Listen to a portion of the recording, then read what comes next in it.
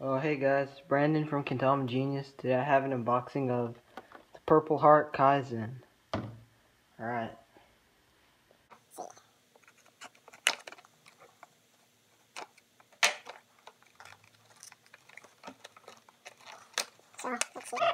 Oh, much respect on the inside of the box. Alright, that's cool.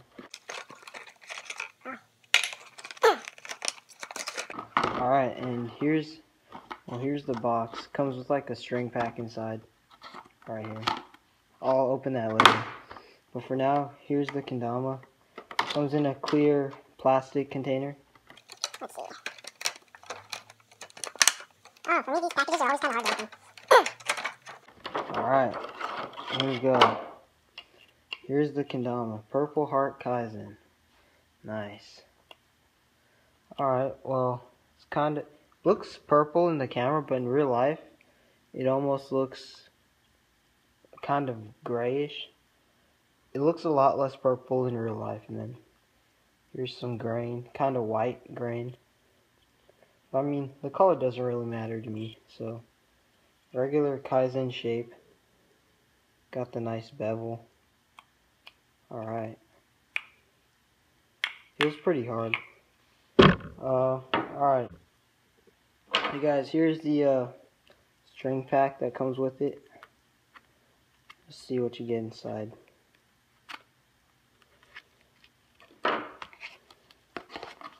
Alright, let's see. Oh damn, you get like a, a bunch of Kendama USA stickers. That's nice. Kaizen stickers, stringing tools, and you also get a Kendama USA string pack. String pack. So that's a nice black string. All right. Hmm. I mean, there's not really much else to show. I guess maybe I'll bring my Beech Kaizen and just compare it. But all right. So here's a comparison of the Purple Heart Kaizen and a Beech Kaizen. So Beech Kaizen is worn in, so the paint's kind of messed up, and then the spike has moved, uh, cups have moved down. So that's about, cups will move down a little maybe. And in terms of weight, let's see. The uh, purple, purple heart is at 73. Let's see. Purple heart is at 73. And the